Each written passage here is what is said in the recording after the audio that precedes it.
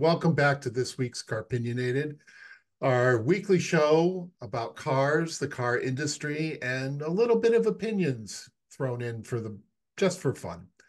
Uh, and I think that this week, Jeff, we will have opinions. Yes.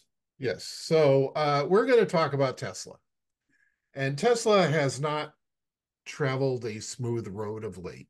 Let's put it that. I know, I know that's an easy way to put it, but well, I was a photographer and I wasn't a writer. um, uh, so, Jeff, what what do you think is like the standout thing in your mind about what's going on at Tesla? This is all the product of a uh, a guy who seems to be easily distracted by the next thing. Mm-hmm. Um, mm-hmm it's clear that Tesla is the dominant electric vehicle maker in the US, uh, probably the dominant EV maker in the world, at least as of this moment. Um, but a lot of the things that have happened since uh, they sort of established themselves in that role have been, it seems to me, products of the CEO of Tesla um, getting focused on other interests that he has outside of what is honestly sort of a drudgery type business of making and selling cars. Mm-hmm. Um, I think one of the biggest examples of uh, his sort of lack of interest in Tesla right now was the company's decision to fire virtually the entire division of Tesla devoted to the supercharger network. Which, which is their crown jewel. It is the crown jewel, and it's also uh, by virtue in many ways of Tesla's pro- dominance in the market and also lobbying by the company, the North American charging standard. Every electric car made in the US has a connector that will fit a Tesla supercharger. And the thing that the supercharger network is that literally no other EV charging network in America is, is reliable. Mm-hmm. Uh, so the supercharger network is the standard in the US. Um, EVgo is frequently riddled with service outages. Electrify America, which was sort of created uh, as Volkswagen's penance for Dieselgate, uh, also is incredibly unreliable. So the supercharger network is kind of the deal. And once all major automakers who do EVs in the US said, okay, we're going to start offering our cars with connectors to fit the NACS, uh, Tesla decides to can the entire supercharger division. I, I, and, what apparently was a whim. And evidently, when people talked about this or asked questions about this on X, which is uh, one of the distractions of the CEO of Tesla. Of course, he owns X. Um, his response was, "We're going to focus on keeping 100% um, service uh, and then strategically build out." It appears that the company is backtracking on that a little bit and is rehiring some of the people or trying to rehire some of the people it had terminated uh, over the last few weeks. Um, again, this is also uh, a sign that um, of a potential lack of focus on the business of Tesla because mm-hmm. uh, SpaceX is still a thing. And uh, Neuralink just got approval to implant a chip in a second uh, patient. Um, those are far shinier and far more interesting. Once and and it may be that the CEO of Tesla believes that um, the innovation at Tesla is done. Also, the government is sort of um, more aggressively sniffing around the company uh, because it continues to have questions about how the company's full self-driving, and this is a brand name, uh, yeah. technology is deployed and how it was sold. Mm-hmm. Because uh, if there's anything that uh, people should be clear about, in any of these driver assistance technologies, be they the one from General Motors or Ford or Tesla or anyone else, at this moment, no car is self-driving. There isn't a single car on the road in America that will guide itself down the road without input or monitoring from the driver. And uh, the question seems to be whether um, people who bought Teslas believing that their cars could drive themselves were misled or sold a bill of goods. Uh, the government is very interested in knowing about that. Um, there is also the fact that, and this is not necessarily uh, Tesla's doing, although certainly their uh, success has uh, has spawned some of this, is that there's a lot more competition in the EV space now, mm-hmm. Uh, and it's coming at the moment that EV demand in the US is softening. And we've talked about right. this on this podcast before that the take up for electric vehicles in the US was never going to be a straight line, it was never going to be linear. There mm-hmm. would be sort of steps and plateaus that would come along uh, in the drive to EV adoption. Uh, certainly more people are buying electric vehicles now than did a year ago or two years ago, but the rate is not nearly what it was. And so Tesla finds itself in a far more competitive environment in the US. Um, even as the Cybertruck uh, rolls out uh, with a series of uh, issues, um, everything from the trim uh, the trim panel fell off the accelerator pedal and got the gas pedal stuck on some cars to the uh, giant hubcaps on the wheels digging into the specially designed tires uh, and even the editor of the Autopian, David Tracy, uh, had a uh, a Cybertruck that's uh, is in the process of being sold by uh, Autopian's um, money partner, Galpin Motors in Los Angeles. Uh, managed to kind of slice his hand open, reaching into the back, reaching over the sidewall of the Cybertruck, which is sort of confirming what a lot of us thought is like, geez, that's that aluminum looks very, or that stainless steel looks very sharp. Um, so, I mean, all of that is happening. And so you have a lot of these cars that are now available, a lot of EVs that are now available from a lot of different manufacturers.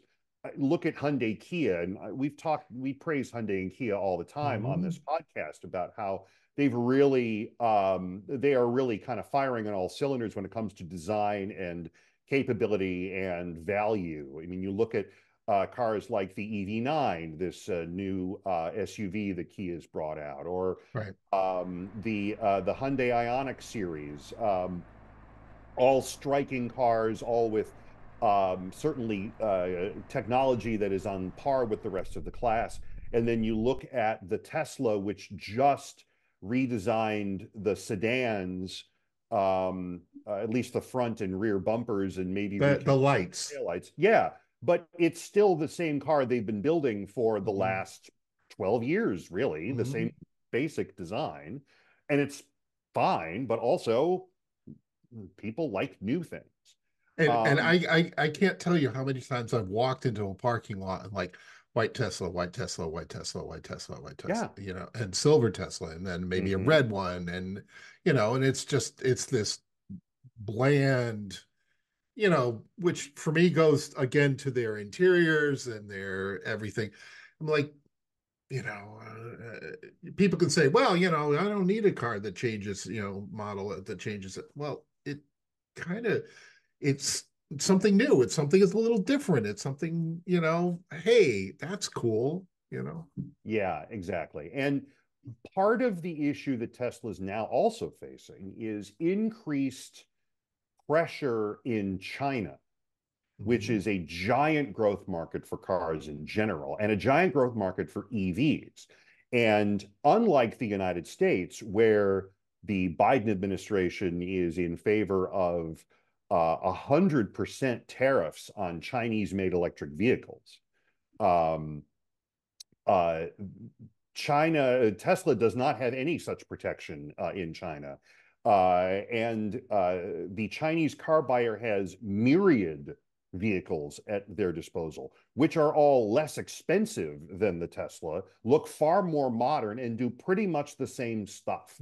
Mm-hmm. Um, I just saw uh, a review of uh, cars from BYD, um, which is not a Michael Jackson song. Um, it is. Uh, it's actually the acronym is for Build Your Dreams. Build Your Dreams. Yeah. I actually read that on the back of a BYD I saw in London uh, a few weeks ago, and uh, and they're fantastic, and they're incredibly reasonable, and because they're being built incredibly inexpensively, right. Um, and so there are issues on a number of different fronts here for Tesla, and if this was a normal car company, the company would sort of figure out how to get through it and would you know roll out some new product maybe a less expensive car. And tesla has talked about uh, every now and then a $25000 tesla the last thing we heard about that from the ceo at uh, i think it was the shareholders meeting here not long ago was that they were really more focused on autonomous driving your sort of autonomous taxi i guess um, and the ultra expensive consumer vehicle um, was not really a priority of the company anymore. And and uh, I and I heard that whole thing where robo taxis and stuff, and I'm like, is this like a Roomba that you ride in? You know, does it yes. does it yes, go it home at night? Does it go home at night and plug itself in and like you know everything? Probably. No. I mean, but again, the uh, the the curve on that is really steep. I mean, you just, you know, you say Waymo to people in California and they get scared. Right. Because um, they had so many problems with Waymo taxis in San Francisco. Um, and uh, it's, it's that the technology is going to take a long time and they're going to have to break a lot of eggs to make it work. And, um, and uh, one other thing, okay, so you live in a very dense urban environment, mm-hmm. right? Yes. I live in a nice suburb, and it's 10 miles to downtown Hartford. Mm-hmm. And, you know, any kind of taxi ride takes some distance, therefore, it's got some cost.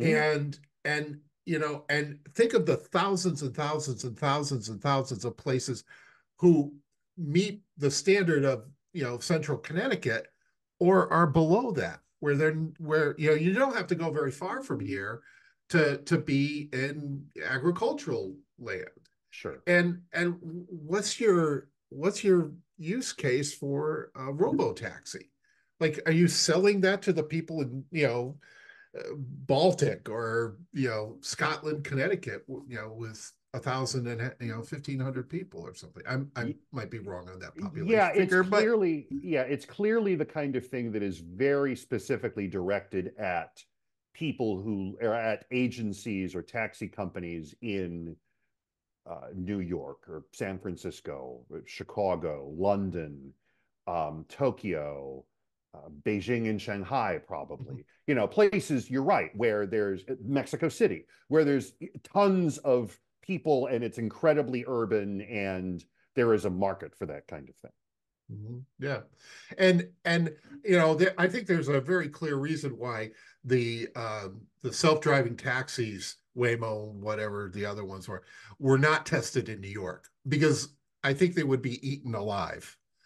yeah, I mean... you know, I just see this like, you know, all these yellow cabs, like, you know, like you know, chum in the water. Right. Sharks, yeah, know? exactly. Uh, yeah. Hey, what? I'm driving here. uh, and the other the other issue that uh, is sort of now befalling the CEO of Tesla is a very real question having to do with his income. Uh, the uh, company had been poised to approve a compensation package that totaled about $55 billion. And uh, there was one sort of shareholder mm-hmm. revolt that got uh, tamped down, and apparently now there is another one. Mm. Uh, and so the shareholders are facing a situation where they may have to uh, they may be soon asked to vote to reject the idea of what I think is the largest compensation package ever even proposed for any kind of CEO ever. Um, at a time when that that specific company, Tesla, is under pressure from the regulatory side, from the demand side, and uh, from the competition side. And and I look at, I mean, uh, the the the clear inequity of asking for that pile of money at the same time that you're doing layoffs. I, I, when you drill down into layoffs, you have the worker on the line, right, who's who's being laid off. You have interns who were brought the, you know, going to be brought there for the summer, expecting to work for, you know, during the summer, who now don't have those jobs. You have, like you said, the the supercharger people, um, they uh, you know, all those people that are part really seem to be part of the main infrastructure. A- at the same time, you're asking for this, you know, wheelbarrows and wheelbarrows of money. I, I, I it, it just optically, it's a mess, you know, and and so many things are so clear, you know, to you know people like us, like why did you spend all that money on the Cybertruck and it came out that way? You know, what, what, why do you insist on doing X? Not to, you know, why not, you know, you insist on doing things, you know, like Z and it clearly is not getting you anywhere. And, and again, this is a, uh, this is what happens when you're sort of ego driven uh, sort of entrepreneur minded person um, winds up in a business space is they just sort of they become kind of i think they become kind of peripatetic like they're sort of bouncing from thing to thing to thing mm-hmm. um, uh, you know they bought uh, what used to be twitter uh, because they had some idea that they were going to make it this grand uh, arena for free expression and um, I, I mean, I somebody has to tell me what it's like because I haven't been on it in a while. Um, and uh, and then you know you have uh, the sort of ongoing issues with Tesla and uh, and they're you're sort of running out of things to jump to. I mean, I suppose there's you know there's always Neuralink, I guess. Uh, but then, but which then has the, its own problems. Well, yeah. that's true. Yeah, exactly. Yeah. They've already, you know, they the feds were threatening to kind of slam the brakes on that because the one uh, patient wound up back in the hospital for uh, something related to the surgery to implant the chip. But uh, evidently, they're going to go forward with a second uh, a second test uh, subject now. I, I, I, you know, the, it's not necessarily a Tesla problem, but it is. Then you have the whole Hertz debacle. You yeah, know, where gosh. where like we're going to buy 300, you know, 30,000 EVs and most of them are going to be Teslas and then like less than 2 years later, you know, uh, we think we're going to sell those. And and for two reasons. Um, well, there are two issues here. First of all, they're selling them because people didn't want them um, for whatever reason. Either they felt like they weren't correct for the sort of driving they intended to do mm-hmm. on their trip. They didn't buy them because they were concerned about the connotation associated with the CEO of Tesla. Um, uh, for whatever reason, the customer's right. They don't want the Tesla. They don't get it. So they're going to sell them. The problem Hertz is having is that in the time between buying all those Model 3s and selling all those Model 3s, Elon Musk slashed the prices of Model 3s, thereby tanking the residual values for all of these cars. So Hertz is being forced to take a bath on this experiment, really, in EV adoption, at least in the rental car space. Um, and my guess is it might be a minute before another company takes a similar gamble. Uh, and it and, may be with a different, and it may be with a different company. Right, right and it's certainly a different scale. Mm-hmm. Certainly a different scale. Yeah, I just it doesn't make a lot of sense, you know. And and then you know, then you can, can continue to come back to the quality issues on the cars. And and the other, you know, the the repair issues. So I watch Wham Bam Tesla Cam every Sunday morning and uh, on YouTube. And it's a series of, you know, videos from the Tesla cameras and, you know, security system. And they're constantly like, you know, a car get, you know, Tesla gets hit the rear end. And, and and I'm no expert on, you know, repair costs, but like, oh, that's a six, seven thousand dollar repair. $24,000. Yeah. You know, yeah. and it's going to take 4 months. Mm-hmm. And and that has to do with the way the car is constructed because they have two big pieces of metal that they've made that forms all that substructure Mm-hmm. and you know that gets hit and now you have to replace all that and you know basically then you toss the car away right Yeah, and that's true. there was a period of time when it worked out for people you know dur- during the the height of used car prices where they'd have a year or two old tesla it would get you know totaled and but but because of the value of the car they could go out and buy a new tesla right Mm. and so it's you know so that worked out but that was a very small window Yeah. and and, And, it I just saw I just saw a, a thing today that shows that used car prices are, if not at the sort of pre-pandemic level, are approaching that. So Yeah. that the sort of used car bubble of 2021 and 22 is um, ebbing now. right right uh, yeah Yeah, it's it is a it's a difficult situation. Uh, it, it it is it'll be interesting to see over the next year whether any of it causes Tesla to lose its status as being sort of the electric car Mm. uh, in the United States, or I guess whether another car uh, uh, rises up to challenge it. Um, I don't think it's the Mach E, although uh, I think those are awesome. Uh, it doesn't seem like it's going to be the EV Blazer um, or any of the Ultium cars yet. Um, so we'll see, I guess. Yeah.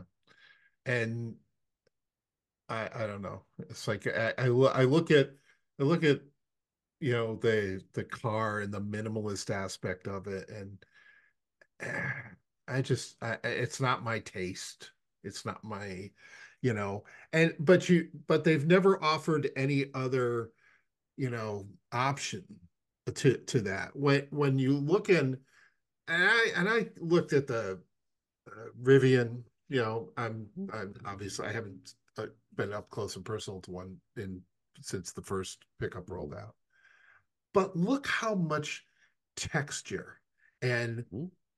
je ne sais quoi, you know, that that vehicle has. Mhm. And yes, they're losing money. I totally get that, you know, and but but it you look at them and you say, okay, they have a plan, right? It was the pickup, it was the big SUV. Now it's the smaller SUV and then the smaller still and and how much interest that generates, right? Mhm.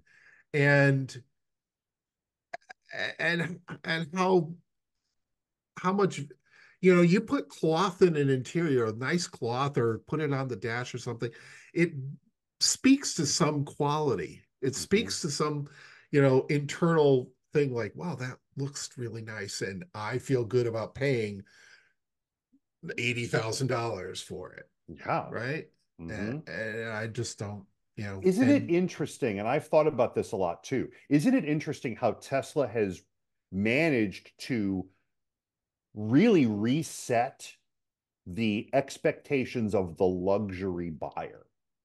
I mean, we've been beyond Landau roofs and um, crushed velvet velour seats for some time, thankfully sad- sadly. Uh, um, but for a long time, the uh, Lexus really was your kind of default position for luxury car, you know, kind of plush leather, nice understated woods, warm colors, uh, and that sort of thing. And then you, you know, in 2012, Tesla rolls in and it's all it's all tech, it's all screens and displays, and uh, the wood is very gray and minimalist, and the leather is just kind of leather, unless it's I don't know if it's leatherette. I assume it's one of those two, or I guess they call leatherette vegan leather these days, which is fine. It's whatever. Um, and and so many car makers have picked up on that and have sort of decided and a lot of buyers have decided this must be what a luxury car looks like. And so you can't get away from giant screens. You can't get away from sort of, um, you know, minimal seat uh, design. Um, yeah, it's I, I I have found that really fascinating how Tesla has changed the sort of expectation of oh this is what a luxury car looks like on the inside. And so you wind when you wind up with an actual luxury car, um, you know, I, I, have a friend. I've talked about uh, my friends before who own a Lincoln Corsair. Um, you know, that's an actual luxury car. My sure. God, that interior is beautiful. It's right. gorgeous. It's so comfortable. Right. Right. Yeah, it's like and getting into a Tesla, and I've been in a couple. Uh, it sort of feels like I'm uh, it sort of feels like I sat down in an IKEA, and I like IKEA. Right. IKEA yeah. is great. Yeah, I wouldn't yeah. ever spend seventy thousand dollars on anything from IKEA, though. Listen, I've said this before. We've said this. Like we want everyone to succeed, mm-hmm. but when when you put so many obstacles in your own way, in that work, you know, that aiming for success and feeling like, well, we were successful in 2022, we'll just keep moving forward. You know, we'll do less, you know, less stalks or less gear shifts or less buttons or whatever, and we'll all just put it on the screen, you know, and, uh, wow. You know, uh, yeah, boy, I totally forgot about that whole turn signal situation. Like we, and and the turn signal thing and the yoke thing. It's like we solved turn signals and steering wheels already. We've solved it. NPR and, it. NPRNDL. Yeah. I, I I can't. I don't know. I, we're a future episode. We're going to have. Uh, we're going to talk about improvements to cars. But there you go. Until then, mm. and I put improvements. You know, in yeah, yeah, yeah, yeah. But yeah, I don't know. I don't know. But anyway, this has been fun for us. Anyway. Come at us, haters. our our Cybertruck issue, which is uh, uh, episode, which is I think the first one you were on, uh, I think is still our top, you know, viewed thing. Like, okay, yeah, yeah, yeah. yeah. But all right, so number one, we're still looking for weird cars. Uh, send me a picture and a little bit of a description about that that weird car that you really like. Um, to D Stewart at fox61.com. Number two, uh, like and subscribe on our YouTube page for Fox 61 News. Uh, helps us out tremendously if you give if you give us a like there. Uh, and um, I think that's it for this week. Um, Jeff, I always appreciate you showing up and probably going out without your dinner, but dinner's on the way. Okay. Uh, and and Glenn will return. I promise Glenn will return. Uh, and um, and that's it for this week. All right. See y'all. Good night, Fairfield County, wherever you are.